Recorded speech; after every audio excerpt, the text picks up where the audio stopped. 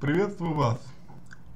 Эм, чтобы завоевать э, девушку, чтобы заинтересовать ее, нужен фунда фундамент.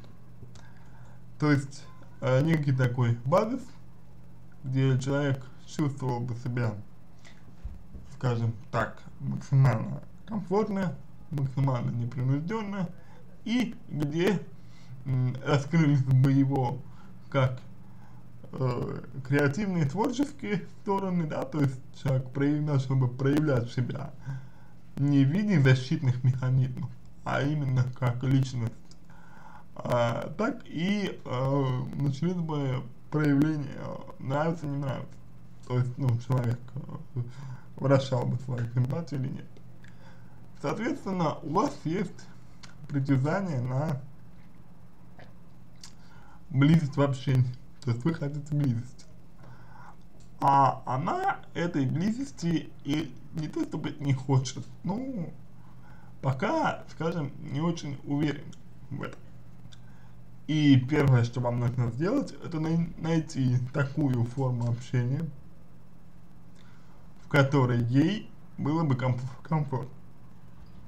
Если это знакомство, то есть, ну, просто общение как знакомые, да, хорошо. Если это дружеское общение, хорошо.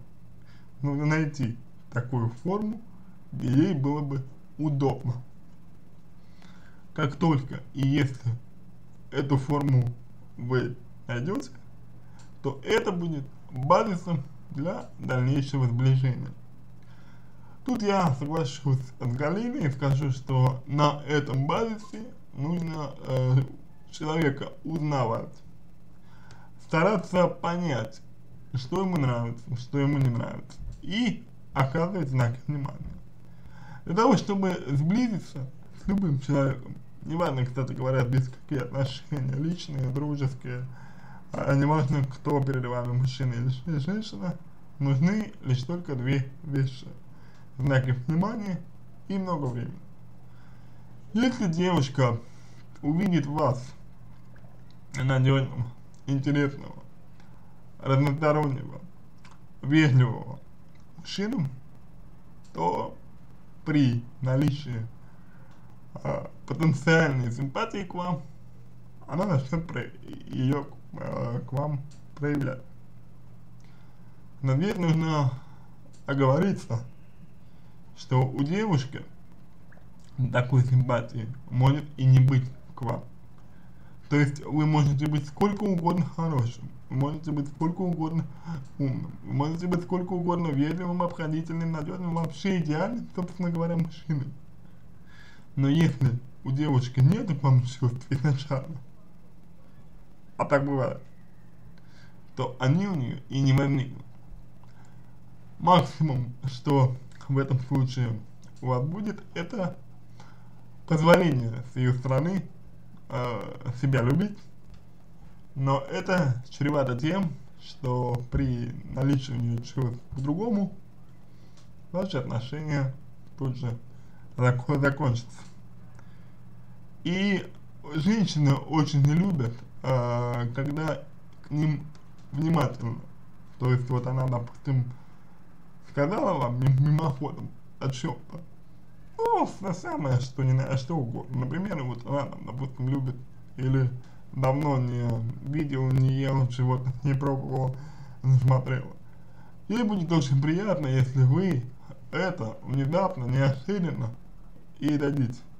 Женщины вообще любят сюрпризы. И, соответственно, сюрпризы помогут вам вызывать у нее эмоции к вам. И эмоции положительные и, соответственно, ассоциации приятные. И вот это создаст все условия, как я, как я уже говорил, для выражения потенциальной симпатии. А, наверное, наверное, на этом можно закончить, потому что ответ на ваш, на вас, на ваш вопрос я дам. Могу только сказать, что э, нужно быть упорным, не сдаваться, раз за разом пробовать, но пробовать как? И, имея базис имея фундамент, аккуратно стараемся расширить гра границы. Смотрим внимательно на реакцию девушки. Если видим, что ей не нравится, то уже отступаем. Если видим, что что-то воспринимается и позитивно, продолжаем.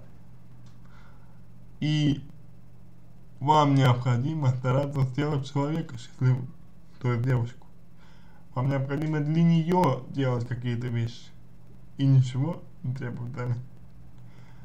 А, понимаете, отсутствие давления с этой стороны позволит девушке понять, увериться в том, что то, что вы делаете, является искренним э, э, сердца, а значит настоящим.